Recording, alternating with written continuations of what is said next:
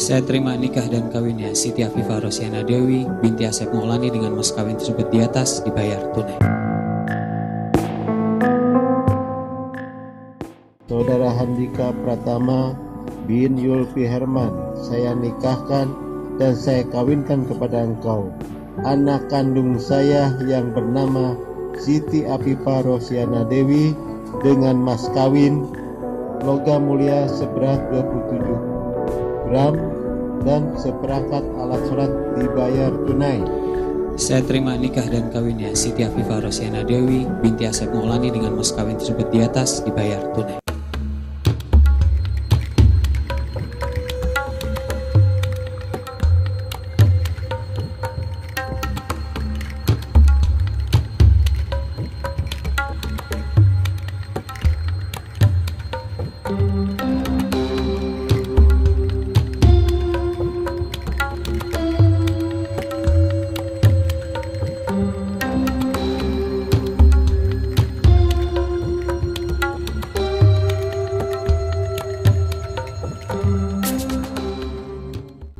Wah parah sih, parah sih.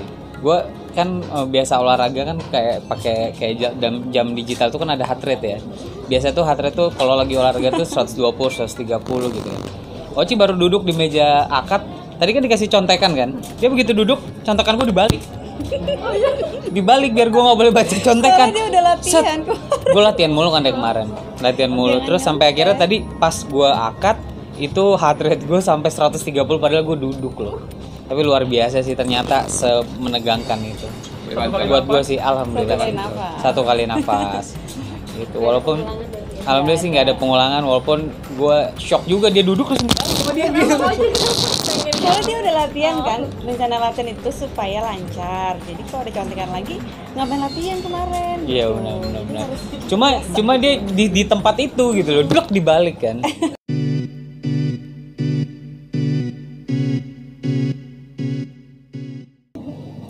deg-degan dan terharu soalnya sempat agak berlinang air mata tapi nggak mau keluarin gitu. Iya. Heeh. Ya deg-degan lah pasti. Wah itu parah sih. Gue kan ya karena baru sekali seumur hidup. Sebenarnya kalau kayak lagi syuting itu rasanya jauh banget. Jauh. Jauh banget. Rasanya jauh banget terus ngelihat papa mama kita di situ duduk terus eh, ya ngeliat keluarga semua mata benar-benar tertuju dengan handphonenya gitu kayak waduh udah ini dan tadi kan kita pakai sarung tangan kan karena nggak boleh ini sebelumnya pegang apa tangan papa Nyoci ngomong Dika tangannya dingin banget gitu kan dengan polosnya papa ngomong gitu kan.